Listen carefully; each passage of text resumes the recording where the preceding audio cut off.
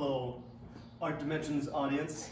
My name is Ben Gordon. You're joining me today uh, in my shop here in Hawthorne, California, where I have some uh, pieces of art that I've created over the last decade or so. Um, and I'm going to take this opportunity to share a little bit about it with you. Uh, we're standing in front of a piece uh, that I call Taj Mahal.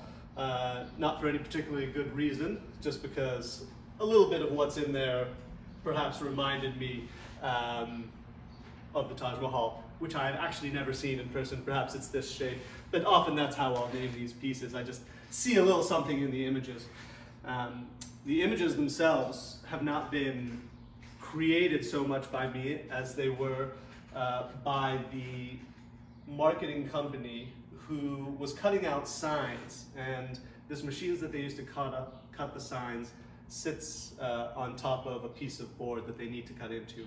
This board receives all the impressions of all the various signs and marketing material that they've cut out and you can see that in some of the pieces. Here you see the, you know, the type winning game ball and championship game ball. And if you look down even here, you can actually make the name of someone out. It says Vernon Davis.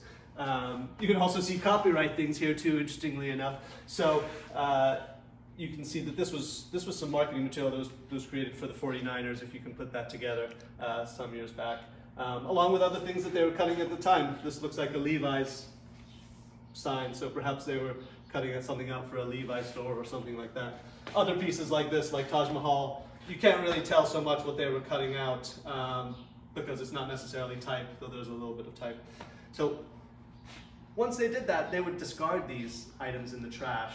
And so uh, one day I came along and I said, hey, these have great aesthetic and artistic um, value to them. There's something also inherently cool to them that I gravitate to.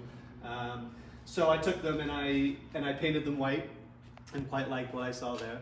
And then I decided, hey, let's layer some colors in. And immediately it became apparent that having these recessed channels would allow me to create crisp lines even if I, you know, not applied my color in crisp, crisp fashion or dictated the lines for that matter. Um, so I've been playing with that. I really like them. I've gone on a little bit too long. Thanks for joining me here. I have lots more to share about these things uh, if you'd like to hear about it. And have a wonderful day.